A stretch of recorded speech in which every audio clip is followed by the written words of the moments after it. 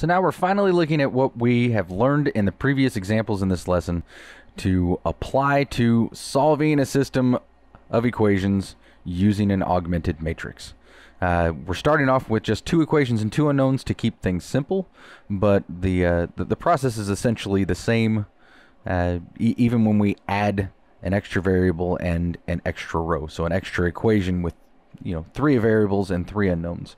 But we want to start off with something simple. So our first step is always write the matrix for the system of equations. So if we write this system of equations as an augmented matrix, again, we just write the variables term or the variables coefficients and the constant uh, as numbers in our matrix. So we have 2x plus y equals 7 or 2x plus 1y equals 7. So our first row is going to be 2, 1, the line for equals, and then 7. And then we have 1x minus 2y equals 6. So 1x minus 2y equals 6. So I'm going to go in rows here. Uh, if I need a second row, we'll, we'll use the second row. So the first thing is we want, using row operations, we want to get the entry in row 1, column 1. So we want this upper left-hand corner. We want that to be 1. Well, an easy way to do that is just to switch around row 1 and row 2. So we'll make row 2 row 1 and we'll make row 1 row 2.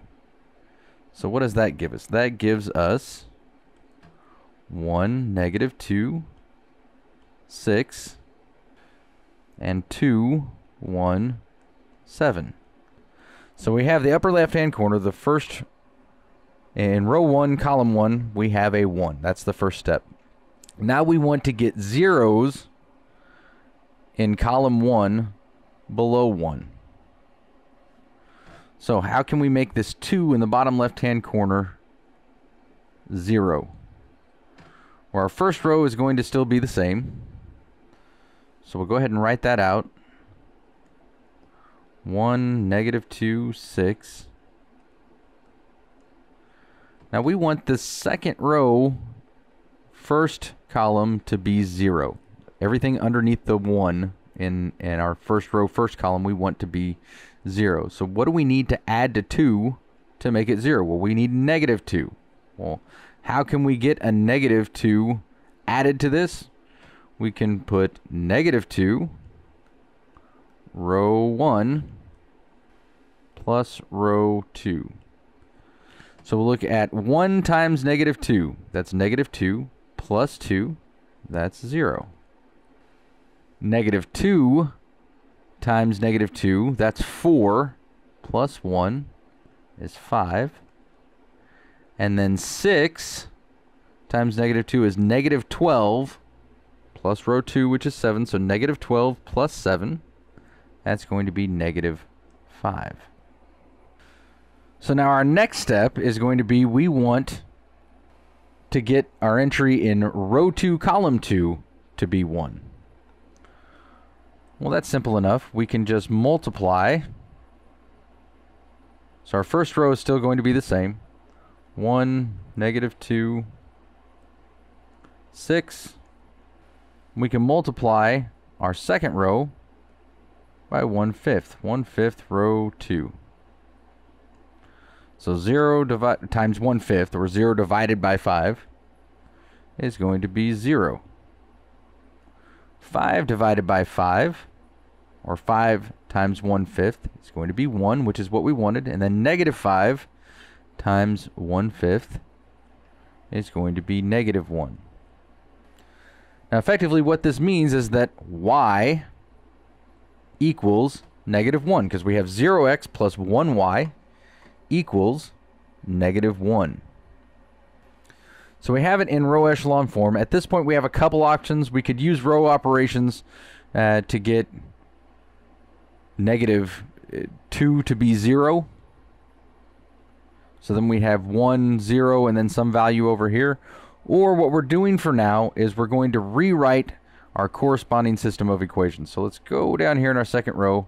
And what does this augmented matrix now represent? It represents 1x minus 2y equals 6. And as I already mentioned, 1y equals negative 1. So we'll substitute into first into our first equation. So then this becomes x minus 2 times negative 1 equals 6. x plus 2 equals 6, which gives us x equals 4.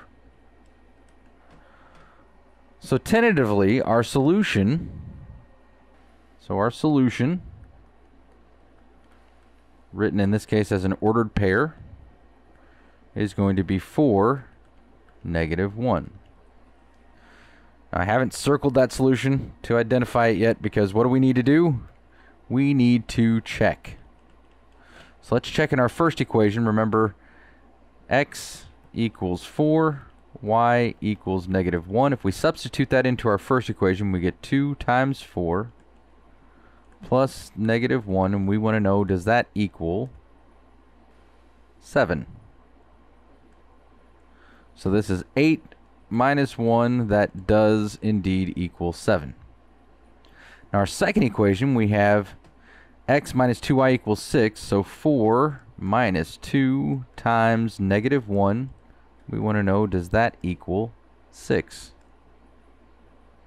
So that's 4 plus 2, which does equal 6. So that checks in that equation as well, which verifies that our solution is 4, negative 1. So our first step is to, well, our first step is to write down the augmented matrix. And then after we write down the augmented matrix, we want to get the first row, first column to be 1. And then we want everything underneath that one to be zero. In this case, we just have one other row. So we, we got our first, uh, or our second row, column one, to be zero. And then we want our second row, second column to be one. And that's how we know that it's in, uh, in our echelon form. That's how we know it's in row echelon form, is when we have these ones right here then at that point we we've solved for the second variable so we can rewrite it as a system of equations. Only just so happens that our second equation is going to be the solution and then we substitute that solution for our second variable into our first equation or our first into our first equation and solve for the other variable. And then as always we check it by substituting our val values that we determined in our solution into both equations and verifying that they make true statements. So the system of equations that we were given 2x plus y equals 7, x minus 2y equals 6, by putting it in a row echelon form, then rewriting the system of equations that we found, uh, our solution is 4, negative 1. x equals 4 and y equals negative 1.